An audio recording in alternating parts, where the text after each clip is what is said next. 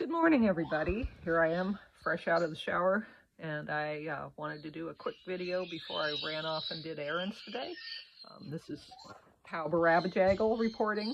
I um, went with my friend Dave yesterday to a uh, rummage sale at a church.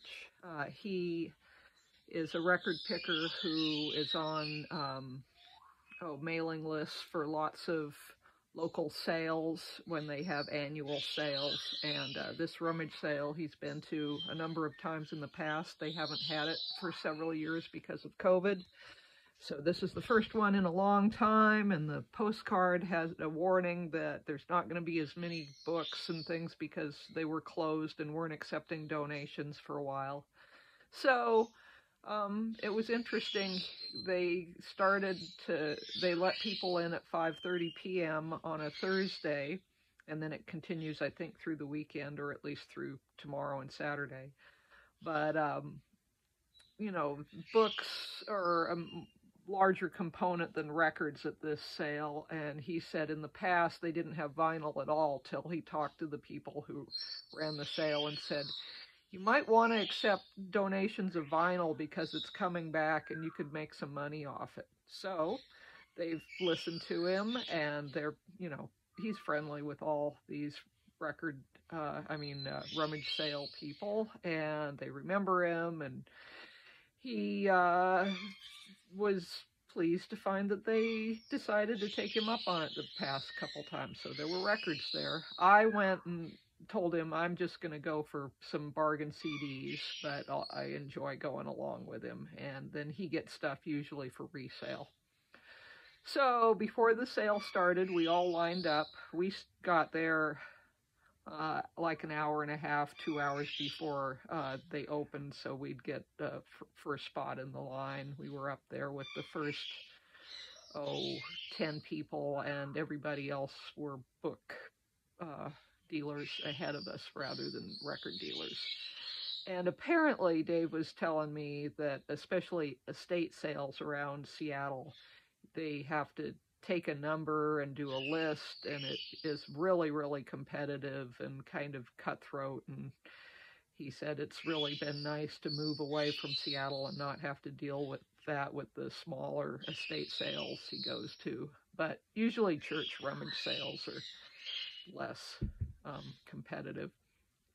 So yeah, um, we it didn't rain until after we were leaving, which was nice because we stood out there and being in the rain would have been annoying, but I guess that's happened in the past. When we got there, there wasn't much of a line, but there was a good line down the block by the time they were opening. We got in there first to the records, and they also said they have an air, a showroom area where there were going to be more expensive things, and they told him there was one record that was more expensive than the others. So he made the decision to go check that out afterwards and go to the cheap records first, which was interesting because when he went to uh, the cheap records, he found a nearly uh, oh, like a near mint or mint minus vinyl uh, mono copy of Meet the Beatles in the cheap records for, you know, I think it was $2. And then in their expensive showroom, they had a sealed copy of John Lennon's Imagine. So actually, his find was, you know, worth more than the copy of Imagine that he missed that somebody bought for $15. I mean, both are cool to have, but I think he made the right decision. And he found an Allen Ginsberg album. Uh, Allen Ginsberg reads William Blake, which I'd never seen, so who knows what that one's worth. I'm sure somebody could look it up out there. And, you know, about 10 or 12 other albums. There weren't a lot of records. It was probably you know, 100, 150 records to go through. And then the CDs, they're about that much as well, maybe 200 to go through. But I got a good stack of stuff. And most of what I got was uh, kind of either collections or um, you know, some less popular albums or world music or jazz, something that I wouldn't normally pick up, but I'm going to pick it up for a dollar and check it out. So here's my show off on what I got. Let's see. First, there was a box set. I got this nice Aretha Franklin box set, four CDs on Rhino for $6. Um, the discs are have some kind of smudges on them, but they look like there aren't scratches. I think they're perfectly playable. Really nice um, collection. I think it's all Atlantic Records, um, and it looks like, uh, did it come out in 1992? I think so. So I have some Aretha Franklin on Atlantic uh, LPs and a couple of CDs, and I have a couple Aretha Franklin collections, but this is really nice. This will definitely have some things I don't have, and I was glad to find that. I mean, the booklet's great, you know, has essays by Dave Marsh and various record critics and whoever in it. So, typical quality package from Rhino for six bucks, you know. Uh, there were also DVDs there. I just barely went through the DVDs, but I got a copy of The Life of Brian which was kind of funny because somebody at the church was asking me what it was about. I said, "Oh, it's a Monty Python movie." It's, and he's like, "That's not one I ever saw." So it was kind of funny. Um, I also got Bruce Springsteen live in Dublin, and this is uh, like the Pete Seeger um, performances. So that the session with the Sessions band. So this was from 2006. Uh, favorites from the Seeger sessions, and then Springsteen songs and rare songs. So I'm not a huge Springsteen fan, but I like kind of some of his offbeat stuff. I like Nebraska. I like some of his, you know, the classic early albums, especially I like the first album a lot. So that's a good thing to throw in the random batch of Springsteen albums I have. I bought one vinyl album for $2. Ferron's Shadows on the Dime.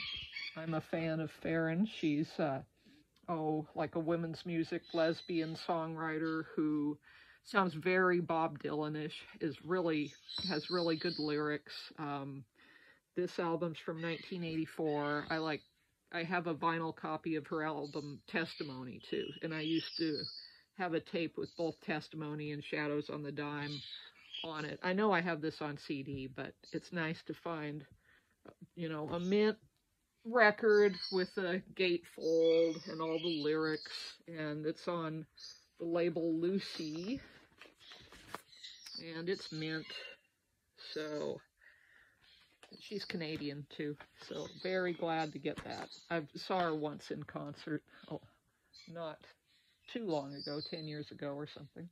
Then I've got my stack. Oh, I also bought this for $4. Got a record crate, which I can use right now.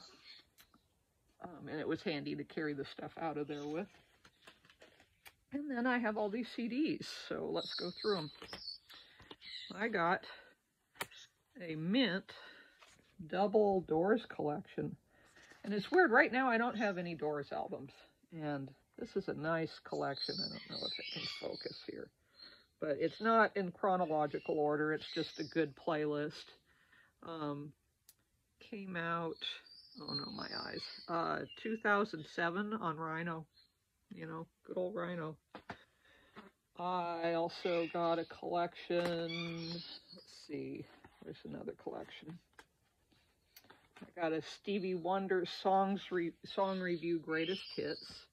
So this is a little more latter day, you know, there's the stuff like part-time lover and I just called to say I love you on it. But then, you know, Superstition, Sir Duke, My Cherie Amour, Ebony and Ivory. Uh, so a cover of Redemption Song by Bob Marley. Um, so yeah, it's, you know, okay Stevie Wonder collection from, uh, looks like Sorry, I got to get in the light. 1996 Motown. That's okay for a dollar. I got a very recent James Taylor album. that I don't know at all. I'm not a huge James Taylor fan either, but, you know, American Standard, I'm willing to check that out. Kind of looks like it's a bunch of um, covers, so probably like, like a nice spare covers album of old time music. Pennies from Heaven, God Bless the Child, Old Man River, you know, stuff like that. Then he shows a bunch of acoustic guitars on the back, so I'm expecting kind of a low-key um, nostalgia type album. And what year is this? This is, oh, 2020. Yeah, that's good. One dollar. I don't have any Pat Metheny. And there was this Pat Metheny album there, which is one of these things where I'm sure the first three letters say Pat, and then the lower line is supposed to be Metheny, but it's all in hieroglyphics. But it's something like uh, This Imaginary Days. Let me pull out the booklet, because once you finally get past all the hieroglyphics, you might actually find some English words. Um, Imaginary Day is the name of the album. And yeah, I don't have much jazz. I definitely don't have much more kind of fusion modern jazz. Most of what I tend to pick up is either old historic 30s, 40s kind of some things, swing, or um, some bebop or uh, 50s kind of stuff. And then, but you know, for a dollar, a major artist, I'm to check it out. Um, yeah, this is, what year? I think it's something like 1996.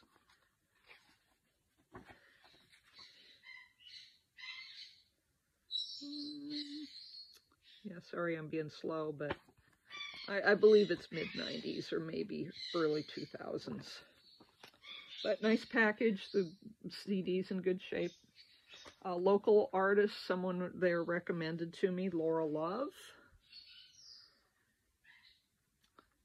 So uh, she's a local songwriter. Um, she has the Laura Love Band. And just, you know, when there's somebody there who's saying this person's really good, she's a friend of mine, blah, blah, blah, I'm going to check her out. Um, then there were a couple Ry Cooder oriented releases and the Chieftains. So there was this Chieftains album. Now I'm the first Chieftains album I ever had was one that was with Van Morrison, and this appears to be uh, a Chieftains album where they're collaborating with a bunch of different artists. So there's a song with Sting, with Mick Jagger, Sinead O'Connor, Van Morrison, Mark Knopfler, Ry Cooder, um, Tom Jones, and the Stones. So, and Marianne Faithfull too.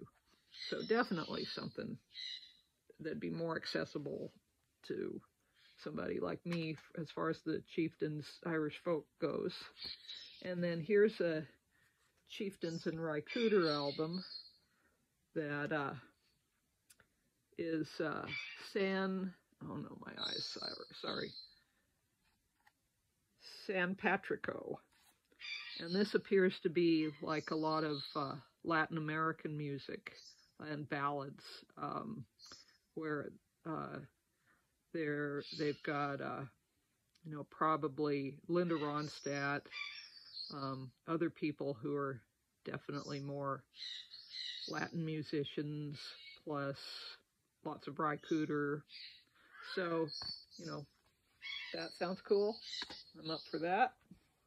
Um, Ry Cooder is also on this uh, Talking Timbuktu with Ali Farka Touré. This album. There's a tab up here that I need to take this tape off. Um, and it's got somebody's signature on the top of the album who previously owned it. But yeah, very oh, 1994. And a Ladysmith Black Mambazo album.